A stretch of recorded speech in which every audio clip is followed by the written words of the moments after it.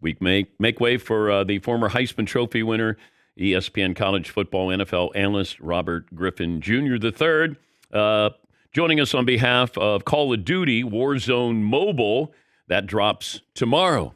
RG3 joins us now on the program. All right, you made some headlines here saying that Caleb Williams should bypass the Chicago Bears. Tell us why or how you came up with this. Yeah, Dan. Before we uh before we dive into that, can I say something just to you uh, on a personal level? Yes. Yeah, Dan. I just wanted to say, you know, I've never had a chance to truly say this to you, but but thank you, man. Um, you're a legend in this game, and you know what you were able to do at ESPN really helped put ESPN in the position that it is today, uh, showing that you can use nuance, entertainment, have fun and I wouldn't have been given the opportunity at ESPN from the Bob Igers, the Jimmy Pitaros, uh, you know, the Stephanie Druleys, the Norbys, the Seth Markmans, the Dave Roberts, um, if it wasn't for a guy like yourself. So I just want to say I appreciate all them, of course, for giving me the opportunity to be at ESPN. But if it wasn't for a guy like you, I would have been given the opportunity to to come out and do this and, and have fun doing it the way that I have. So I just wanted to say that to you. I've never had a chance to say that. And I think uh, we've been talking to one another since your junior year in college. I think right. it's been a been a long time, a long journey here. Uh, so tell us how you came up with the Caleb should say no to the Chicago Bears. Yeah, I mean the the the fact of the matter for the Chicago Bears is um, you mentioned that I'm on here for Call of Duty Warzone, right? And uh, get a chance to be a part of Operation Day Zero tomorrow with them and the game. And we'll talk more about that in a second. But speaking of war zones, I decided to start one on Monday uh, by poking the Bears. And and really what it came down to for me was the the truth is despite all of the additions that the Bears have made this offseason, they still have instability at the head coach position. And too many times in NFL history, we've seen teams have very talented rosters, uh, but not have that stability at the coaching position that you need to allow a quarterback to grow. So for me, uh, Matt Eberflus, if you believe in him, I would challenge the Bears to extend him because uh, you have him and Ryan Poles, and I think Ryan Poles done a great job this offseason of adding talent. But when you ask me the specific question of how did I come up with this, it's really just my analysis based off of my own experience and NFL history. Um, so with the Bears, with what they have done, if you're going to bring in a rookie quarterback and you made that decision, we're trading Justin Fields. You made the decision to go with the rookie QB. He needs at least three to four years to be able to work with that head coach so they can grow together. So I, I challenge the Bears. I don't know if they have, but as far as we know, Eberflus is going to be running into 2025. That's when his contract is up, based off the contract that he got when he first signed there as the head coach. I think they should extend him to 2027.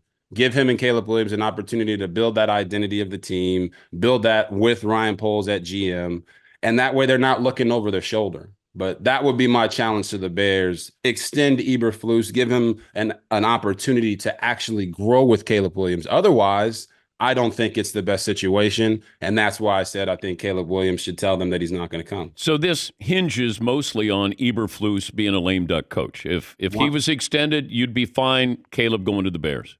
Dan, if they extend Matt Eberflus, and I'm not his agent, so now there's there's there's there's no reason for me to there's no reason for me to say this. I thought he did an amazing job with the Colts as a defensive coordinator. But if they came out and said, "Hey, we've extended Matt Eberflus, gave him an, another a two year extension, a three year extension," I would I would not only just take back what I said, I'd go out do another video and explain why it was so important that they did that and uh, I don't know, wear a Bears jersey for the for the next week. I don't know. But I that, wonder how social media would treat Caleb Williams if he and his representative say we're going to pull an Eli and a John Elway. Right, and and I watched the show as well, Dan, because I'm a fan, and uh, and I think you do a great job. So I, I did see that yesterday. You talked about uh, what social media would say because there was no social media when John Elway did it, and there was no social media when Eli Manning did it. And you also mentioned something about whether I even believed what I was saying, which I thought was funny, but I can confirm, Dan, that I, I believe everything that I said. And I, I don't think social media has been kind to Caleb Williams anyway. Yeah. yeah. I don't think that if he was to make a decision like this, it would ramp up the hate uh, more than it already has been there. I mean, we've had discussions about whether real men cry. Uh, is Caleb Williams tough enough to be able to survive in the NFL environments? Um, I think for him, um, I don't think that he'll do this. It would just, in my opinion, if he does not want to be in Chicago for whatever reasons, some that I've outlined, or maybe some other concerns that he has, I think he should exercise that and not worry about what social media says because social media is not going to be the one that determines whether or not he's successful over the next five years. It's going to be the organization. And I don't think the Bears did right by Justin Fields either, by the way. Um, I did hear you you uh, speak about that. And and I'll just say that our own Adam Schefter at ESPN reported that the Bears didn't have any serious offers that were better than the one that the Pittsburgh Steelers offered them. So I they did not turn down better offers to send Justin Fields to Pittsburgh. It just so happened that they didn't have any other better offers and they accommodated sending him to Pittsburgh. To me, that's a very different distinction. And I think the spin, the spin on that the past couple days has been pretty funny to watch. Well, there are the reports out there that they did turn down better offers and that they were going to do right by. I think Philadelphia was interested in Justin Fields, and I thought that would have been the ideal place for him to go. I, I would I would agree that I think that there were other teams that may have been interested uh, in Justin Fields, but they weren't interested enough to make a better offer. So the I can only go by the reports from guys sure. from our network. Sure. You know, and and Adam Schefter is, is one of the best in the game, if not the best in the game. And he came out and said that they did not have serious better offers for Justin Fields. So that's all I can operate by. And the only thing I would uh, bring up as well, and you know this better than anybody, there's been turnover with the commanders. But that's not exactly, you know, a safe haven to fall back on just because you're going home if you're Caleb Williams. I still I don't think the Commanders roster and you got a defensive minded I hate defensive minded head coaches if you bring in rookie quarterbacks, right? but aren't you saying that isn't that what the, the Bears have? But that's what the Commanders have. Yeah, yeah, that's what I'm saying. But that's what the Bears have. So if you hate the defense, I, I wouldn't have kept Matt Eberflus.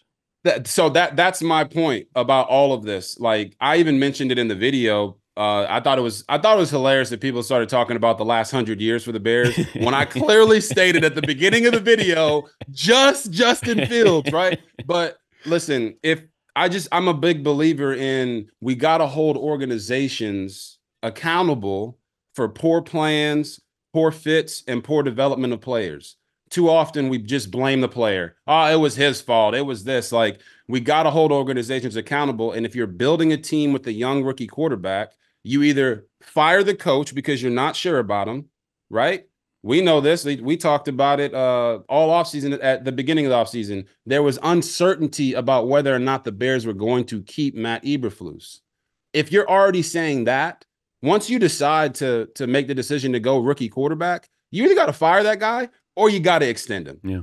And, and, that's that's where I'm at. So when you look at Washington, I'm I'm actually I'm shooting uh, my podcast RG3 and the ones today, and I'll go even more in depth on this whole topic. But for Washington, it's more of a clean slate, new ownership, new GM, new head coach. They're going to probably get at least three years to figure this thing out. If the Bears don't win more than seven games, I don't think if they don't win 10 games to go to the playoffs, Matt Eberflus is not going to be there. Yeah. I don't think that's fair to him. I don't think it's fair to his family. I don't think it's fair to whatever quarterback they draft. Whoever it is, I, I'm just challenging the Bears. Come out and say you extended him or extend him.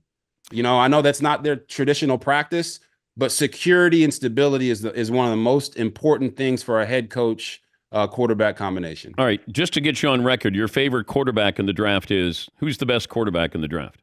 Yeah, it's Caleb Williams. Okay, okay. Yeah, yeah. I, I would have loved it if you said Jayden Daniels.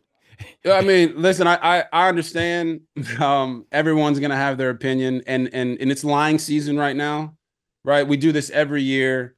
Uh, now uh, apparently to some people Drake Maye is not even a top 5 quarterback in the draft class, right? So we we pick these guys apart. That's not really what I do. I like to show the fan what these guys do well. Uh, I will do that leading up to the draft as well. But Caleb Williams is the best quarterback in this draft class. It's not that the rest of the guys aren't extremely talented or great. It's just that Caleb Williams is the number one guy.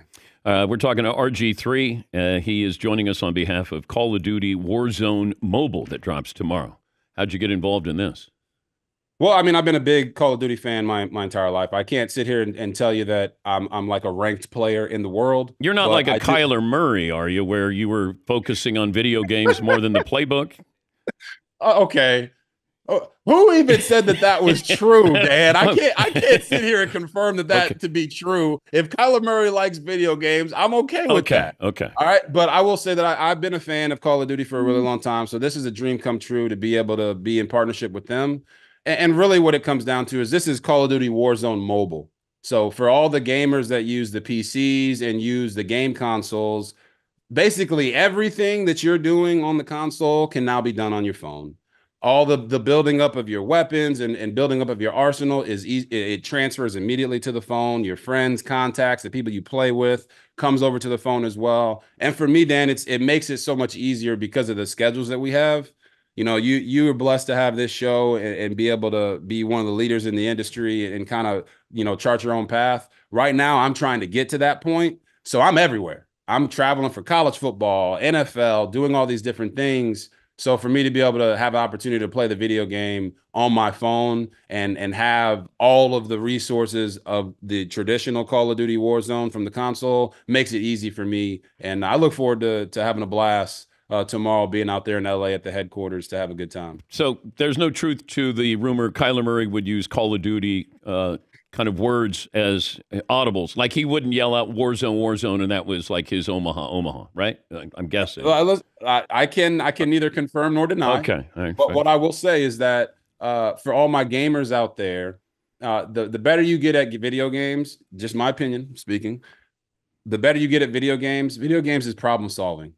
What is football? It's problem solving. You get to the line of scrimmage, you diagnose the defense, you figure out how to attack it. That's what that's what Warzone yeah, but you got to watch tape though too. I mean, Yeah, but you, you do. And and these gamers out here, they're watching tape. Like I, I Dan, I don't know if you understand how how dedicated oh, I know. game- my these son. gamers are. Yeah, my to- to son is a games. Call of Duty. Yeah, yeah, They're they're unbelievable. So if Kyler Murray's watching this, I just want you to know, my man, I support you. Play Call of Duty as much as you want, yeah. and, and go ahead and sneak some film in there as well. All right. Good to talk to you. Thank you, buddy. Hey, I appreciate you, brother. God bless. Uh, RG3, or as McLovin referred to him as Robert Griffith Jr. the third. Still, Robert Griffith Jr. still one of the most amazing moments that we had.